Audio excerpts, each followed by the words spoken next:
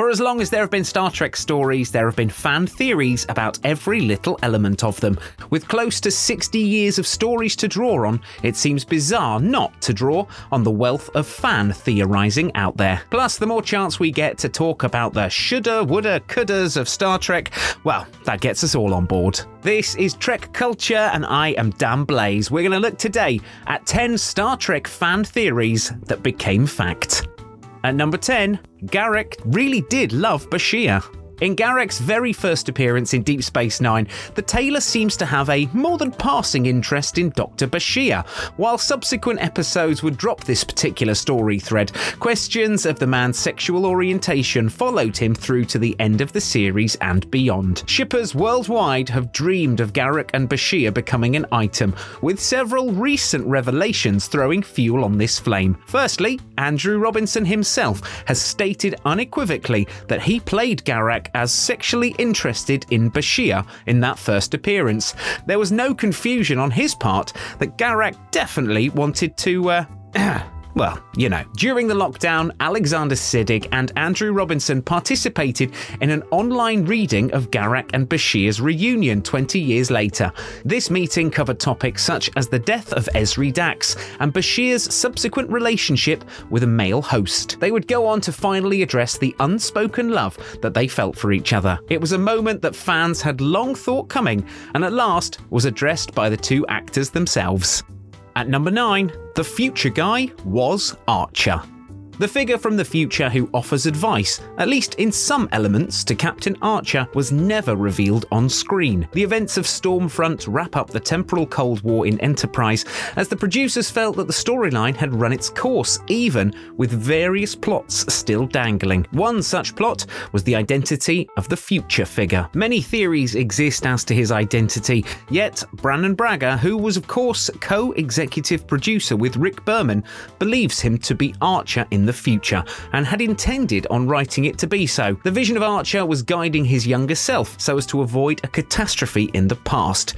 It would have made for a full circle twist as the figure appeared in the very first episode, Broken Bow. With the inclusion of the temporal accords in Star Trek Discovery, the seeds of a return for the future figure have already been sown. There are more and more cries for Archer to return, with time travel being one of the easiest ways to write him into the show. Tying the temporal Cold War into Discovery's fourth season may yet reveal that Archer has been pulling more strings than anyone ever imagined.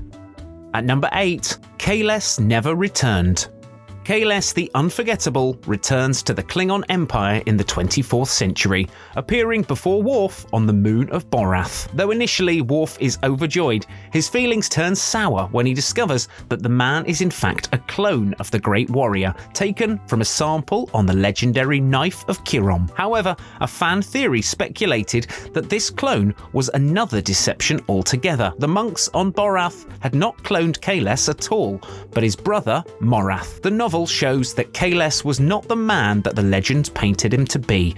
He was still a warrior, but not the mythical being that the Klingons now worship him as. He did fight to defeat Molor, the tyrant of old, with his wife, the Lady Lukara, yet he was saved from death when his brother took a stab wound from the knife that was meant for him. The revelation of the ancient testament of Kahless undoes much of the mystery around the man, deepening Klingon lore and expanding him from a one dimensional demigod. At number 7, the Ancient Ones were teased in the original series.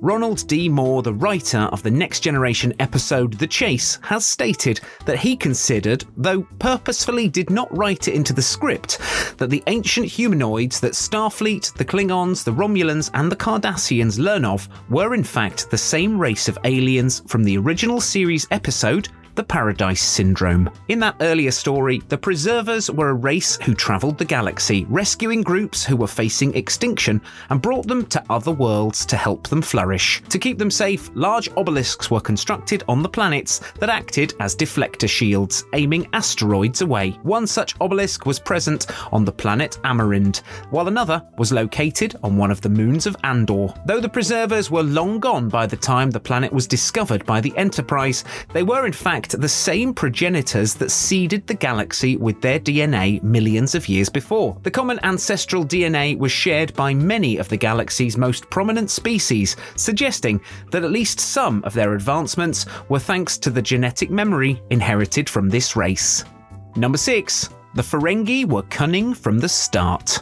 The Ferengi of the Next Generation's first season were awful. There, we've said it. They were touted as being the next big villain of Star Trek before it turned out that they were about as intimidating as an old sock. So, a serious amount of story shifting and retconning had to be quickly written into effect. Going forward, the Ferengi would become more relaxed, yet an intriguing species thanks almost entirely to Armin Shimerman. However, a fan theory posted that the initial goofy appearance of the Ferengi was a ruse. This would be a good way of getting a measure of Starfleet without attacking them head on. It made their military seem meaner and their people seemed dumber, all in their own version of exploration. The novel, The Buried Age, goes a distance to redeeming the early Ferengi.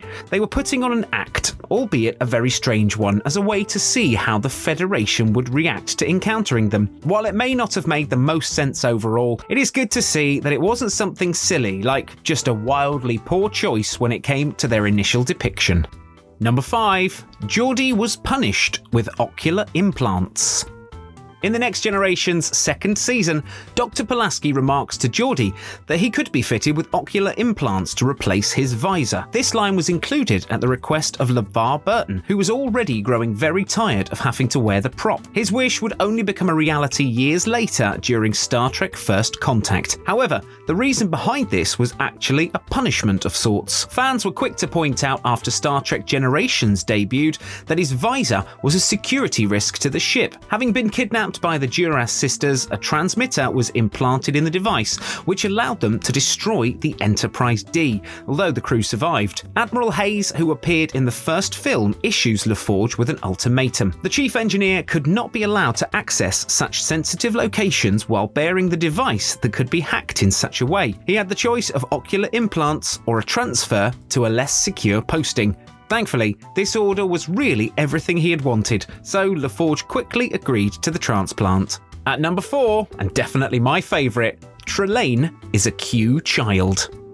The novel Q Squared confirmed what many fans believed from the moment Encounter at Farpoint hit screens in 1987 that John de Lancie's Q was not the first member of that race to have been encountered by either Starfleet or the audience. The first one that we knew of was Trelane in the original series episode The Squire of Gothos. He was revealed in the novel to have been an adolescent Q who was still very much coming to terms with his powers. He was set about exploring other races and beings in the galaxy galaxy, though required an artifact to focus his powers. In the episode, the artifact was a mirror on his wall. This might suggest that he was a mere infant, as by the time the crew of Voyager encountered Keegan de Lancie's Q child, he was quite adept at using his powers, at only three Earth years of age. William Campbell's Trelane is one of the most fun guest stars of early Trek. He's both menacing and playful, and disciplined by his parents, and brought home even when he wants to play. He even served served as inspiration in the performance that de Lancie Sr. has brought to his now infamous character. Number 3 Life is But a Dream. Benny Russell was a fascinating creation.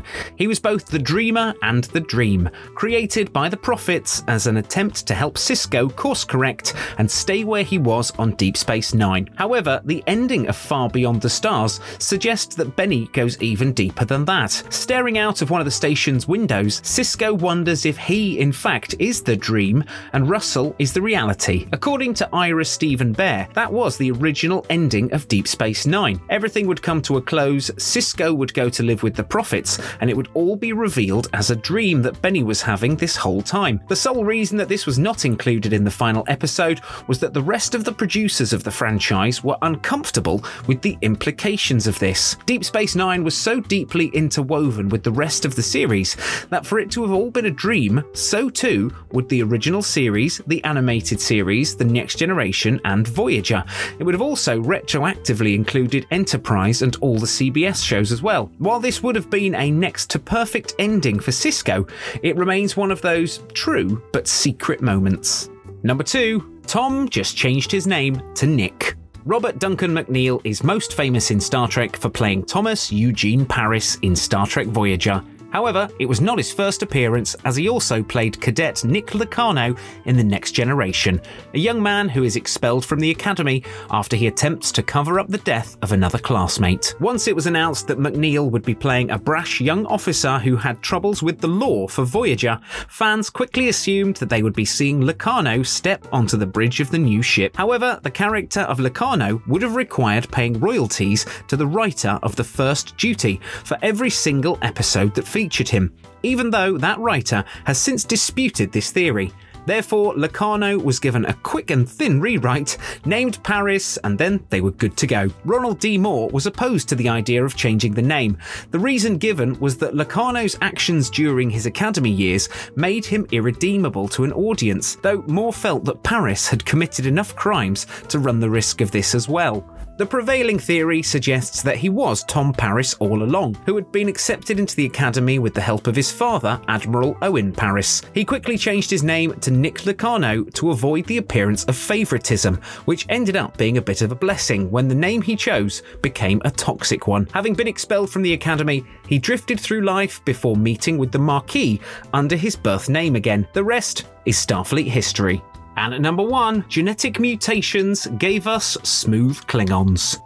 One of the oldest theories out there to be explained in the Star Trek universe is why the Klingons looked so different between the original series and the motion picture. While behind the scenes there was a simple case of making them look meaner for the big screen, something that their ships went through as well, on screen, there was little explanation as to why there was such a change. The difference was pointed out in the fan favourite Deep Space Nine episode Trials and Tribulations, where Worf states clearly that Klingons do not speak of it with off-worlders and it wouldn't be until Enterprise's fourth season that the fan theory on the matter would be confirmed. While fan theories blamed a genetic mutation on the change of appearance, it was very close to the fact. Experiments with augmented DNA spread rapidly throughout the Empire, flattening the foreheads of every warrior for at least a couple of generations. While the new, smoother Klingons were far less intimidating, they were still Klingons at heart. They simply had to rely more on their cunning and prowess in battle to inspire inspire fear